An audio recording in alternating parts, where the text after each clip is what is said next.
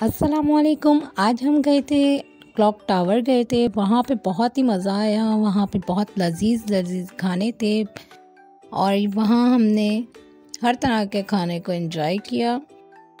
आप लोग भी ज़रूर वहाँ विज़िट करें क्लॉक टावर का। क्लॉक टावर का बहुत अच्छा इन्वायरमेंट है। बहुत अच्छी सर्विस है।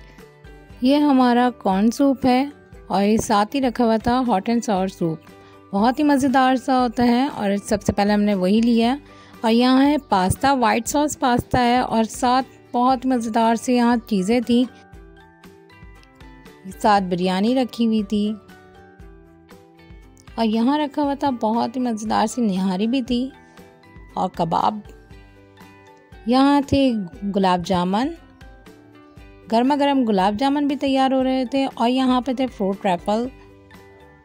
और ये है दूध दुलारी बहुत ही कलरफुल सी और यहाँ रखे हुए थे छोटे छोटे केक बहुत ही अच्छा मज़ेदार सा यहाँ का खाना था। तो आप लोग भी यहाँ ज़रूर विज़िट करें और क्लॉक टावर आप ज़रूर आइए। बहुत अच्छा इन्वायरमेंट है, बहुत अच्छा इंतज़ाम है यहाँ पर। सर्विस बहुत अच्छी क्विक है। तो यहाँ आप लोग ज़रूर आइए। और मुझे कमेंट सेक्शन में बताइएगा कैसी लगी है मेरी ये वीडियो बहुत ही छटपट सी भी, छोटी सी मैंने वीडियो बनाई है। आप लोगों के लिए ख़ास तौर पर।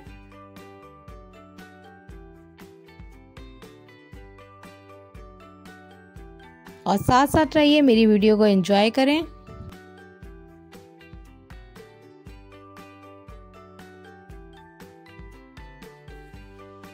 यहाँ पे हर तरह का आपको खाना मिलेगा। जिस तरह का आप पसंद करते हैं चाइनीज़ पसंद करते हैं चाइनीज़ है। यहाँ पे आप आप स्पाइसी खाना पसंद करते हैं स्पाइसी खाना मिल जाएगा। हर तरह का आपको यहाँ पे डिशेस मिल जाएँगी, आसानी से मिल जाएँगी।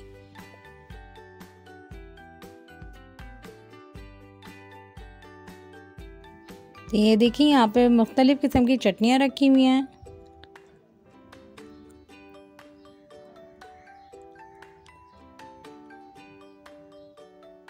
साथ ही यहाँ पास्ता रखा हुआ है।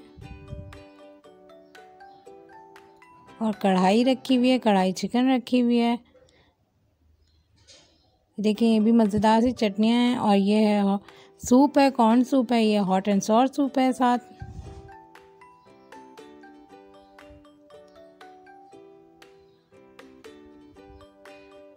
ये है बिरयानी।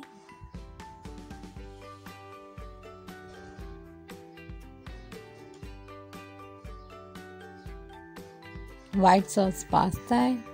सब चीज़ें यहाँ पे आपको मिल जाएँगी आसानी से, जो आपका दिल चाहे। खाएँ वो उसे इंजॉय करें आप। तो उम्मीद करती हूँ मेरी आज की वीडियो आपको पसंद आई होगी।